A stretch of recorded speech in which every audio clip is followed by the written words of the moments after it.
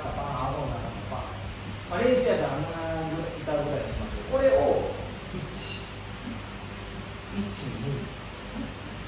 この時にさっきはこのポジション。このポジション。引っ張られたら相手ってこの斜めに戻したくなる。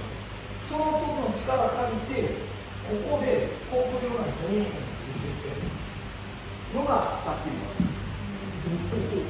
パンチきました、まあ、今足ちょっと斜め45度ぐらい。その時にパーリングモーションで本来こうギュッて目で実はどうまあ怖いどうって力入るけど後ろ向け取った時にガンとこれでこっちこれがまあこれだけでこれでここにこのままこれがこう本来からこうですよ軸が、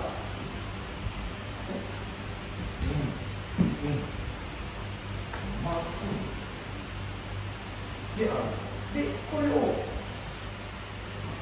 こにつけると、この方向にこう、ようにする。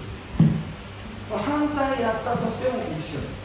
これが、こっち側に行って、そうそう、こっち側に来る。でやってたのが、まあ、分走っていうこういう動きこういう動きの練習をして今の分かりました？